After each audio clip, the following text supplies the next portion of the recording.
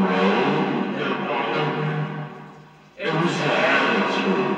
I did